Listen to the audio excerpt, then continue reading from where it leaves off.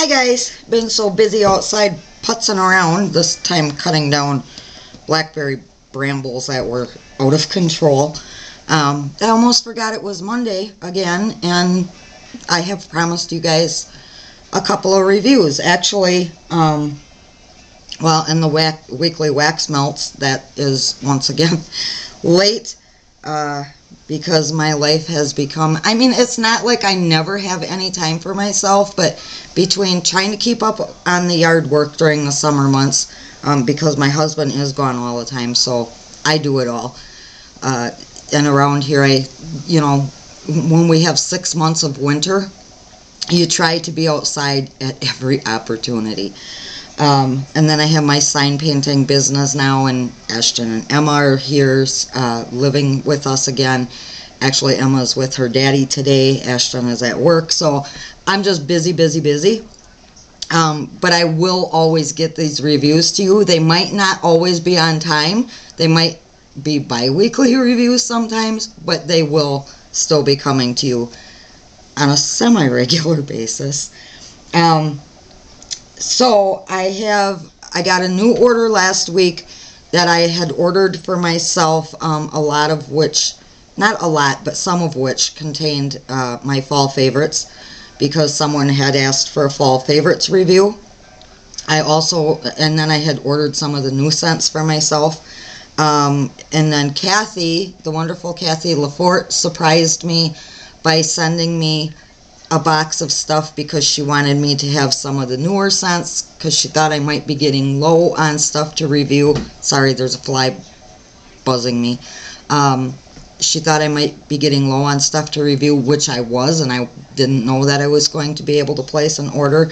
So thank you so very much, Kathy, for the thoughtfulness of your gift.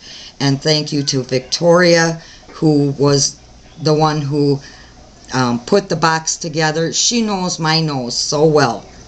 Um, so Kathy said to her, I want to make sure this scent is incorporated and then the rest are up to you to choose. So that was an absolutely fantastic surprise. So I am going to start, because this is probably going to have to be in three separate parts. I am going to start with um, the stuff that I got uh, in combination with what Kathy sent. Um, and if there are some of my fall favorites in there, I'll incorporate those as well. And then when I'm done doing that, then I will do the normal uh, weekly wax melts review. And the reason I am doing it in three parts is because I have a lot of scent shots and I'm not sure um, how much I can get on my memory card or how long my battery will last. So I might have to, if the memory card gets full, I think just to be safe, I'm going to, you know, download one and then come back and do another one. So anyway, on with the review. One of the things that I uh, purchased from Victoria was this adorable little coffee cup. Now, yes, I could have gone anywhere and purchased a coffee cup. Um, this one happens to say smile and light, laugh often, life is good. I wanted to order this because when we do have those long, cold, seemingly never-ending Wisconsin winters, I want something that's going to remind me of Victoria and all of you guys that I've established such wonderful friendships with. So when I'm drinking my cappuccino or drinking my tea out of this mug, I will be thinking of you guys. Now, I don't typically um, burn candles. As most of you know, I'm a melter, so I will be scooping this.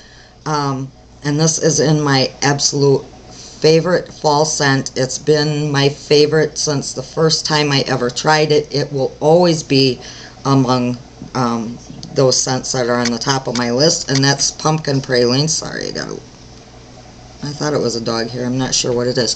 That damn fly is going to have to die. And no, I do not edit. Um, pumpkin pralines is so wonderful. It's this really yummy, earthy pumpkin. That doesn't mean I that it smells like, you know, dirt. I don't mean that. You all know what a fresh pumpkin smells like when you cut into it. But then you get the nuttiness from the pralines. Um, it's also very sweet at the same time. And then this one is relatively heavy on the butter scent, which I happen to love. I know there are some people who don't. So if you're not a big fan of the buttery scents, I don't know that I would suggest this one for you, but I happen to love it. Um, I also ordered some room sprays. I ordered Granny's Apron for myself. This is another of my fall favorite scents. I got the spray and I got a scent shot, so I won't review the scent shot when I get to that one um, because there's no need to. The scent shot and the spray smell identical.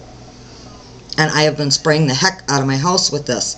Granny's Apron is a combination of Granny's pie crust and zucchini bread. Pam Sampson came up with that combination a couple of years ago. Zucchini bread on its own, um, back then, smelled a little bit too spicy for me. Now, I'm a person who loves the spicier scents in uh, the fall and winter months, and so does my husband. But around here, everybody has gardens around here. Um, I think more and more people are just are growing gardens in general. Um, but when we make zucchini bread, and I don't know if we make it differently from other parts of the country or not, we don't go super heavy on the spices. There's some cinnamon in it um, and that type of thing, but it's not overly spicy. When the first time I smelled zucchini bread, the scent shot on its own, the spices were almost overpowering to me. So when Pam decided to throw the Granny's pie crust in there and come up with this, it worked out perfectly. And this, to me, is exactly what the zucchini bread that I'm familiar with is supposed to smell like.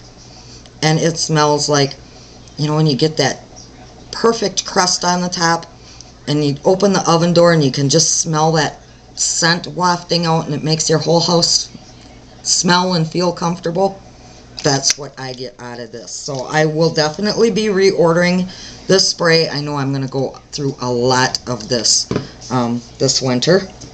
I also ordered Tomahawk Memories now, but I didn't order for me. This one is mine. Uh, but a few weeks ago, my niece was here.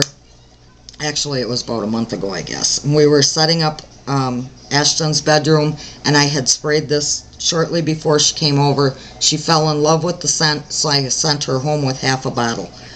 My nephew went crazy for this stuff, her husband. So um, I had to order two bottles of this for him, which he calls Ben Franklin spray. um, and the reason for that is Tomahawk is one of the few places left in the country that has Ben Franklin store. They are no longer franchised, they're independently owned, so each store um, can stock whatever they want to. As far as merchandise, the one that we have here in town stocks a lot of craft items, and apparently Tomahawk Memories smells to Jake like the craft uh, portion of our local Ben Franklin, which if you've heard Ashton and I talking about, oh, we used to work for this retail store, that's where we used to work. Um, I was actually the uh, administrative assistant for like 10 years. Ashton worked there from the time she was 15 until after she graduated from high school. So when Jake said to me, Aunt Debbie, can you get me some Ben Franklin spray? I knew what he wanted. So two boxes of that, or two bottles of that, are now living at my niece and nephew's house. And I also ordered a blue sugar cotton candy spray uh, for Ashton, and she has that in her car. We used her car yesterday. It smells fantastic. So on with the scent shots now that I've rambled on like an idiot, but you're used to that for me, right? Pumpkin cider. Oh, so good. You're going to hear me say, oh, this is so good. Oh, this is delicious. Over and over and over again today. You get the earthiness from the pumpkin. You get the cider scent and then this is more of what I believe to be a red hot cinnamon versus a bakery cinnamon. To me, bakery cinnamon tends to be a little bit more sweet and can sometimes smell, um, if it's the actual, you know, cinnamon in the shaker, it can smell a little bit powdery. If it's a cinnamon stick, it can smell a little barky. This smells like, this actually smells like um, if you made pumpkin cider and then used the cinnamon stick as a stir stick. So that is really, really good. I'll get the cup later. Cool water. Uh, this is the masculine version of cool water. There's both a feminine and a masculine version of this scent. Both are delicious. I used to wear the feminine version. This is so good. So, so good. I am not typically a huge um, fan of men's cologne type scents, but I do want to give them all a try. There are some that I do really enjoy. Um, so I wanted to try this one because I did enjoy the perfume so much. I can tell this is going to be an extremely strong thrower, as are most of Victoria's more cologne type scents. Um, they all seem to have an excellent throw. Pink Sugar Zucchini Bread. Now this is one that came from Kathy. Um, and I also ordered this one for myself. And I love it. This one smells... Now, I said before that zucchini bread on its own used to be uh, way too cinnamony for me, or spicy.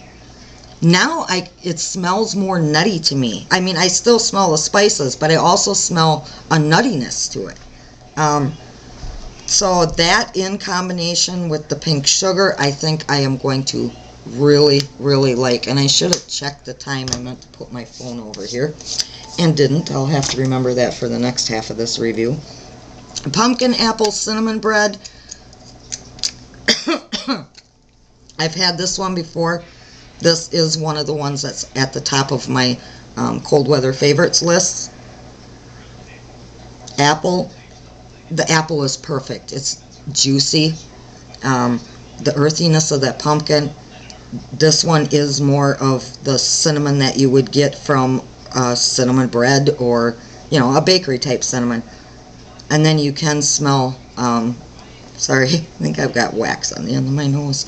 Um, you can smell almost a doughiness, like fresh cinnamon bread um, right out of the oven. That's kind of what I get out of that. Now, a lot of these do contain apple, a lot of these do contain pumpkin, and a lot of them do contain cinnamon because those are not only some of my favorite scents for the cold weather months, but also my husband. So you're going to hear those three words mentioned a lot during this review too.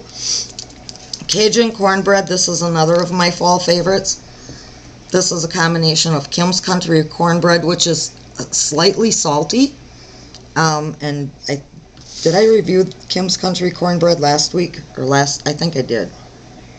Um, and a combination of peach preserves. Now, typically, for whatever reason, peach preserves, not only to myself, but to my husband, not peach preserves, Victoria's peach scents. Um, generally, for whatever reason, and I have no idea why, smell like cat urine to us. Peach preserves is the exception to that. It smells like a yummy peach cobbler to me, or peach pie. Dark Angel, another of my all-time favorite cold weather scents. Honestly, if I could just like tape this cup to the end of my nose and walk around with it like that the rest of the day, I'm the only one here besides the dogs. Um, this is so good. It's a combination of peppermint, which is sometimes too sharp for my nose. You've heard me say that several times in the past. Spearmint, which I love because it's so sweet, and patchouli. Don't let the patchouli throw you off. It's very minimal in there and works extremely well with those two mint scents. Charlie Brown Christmas. This was one that came out oh, two or three years ago. Um, Victoria came up with the scent. Sabrina came up with the name.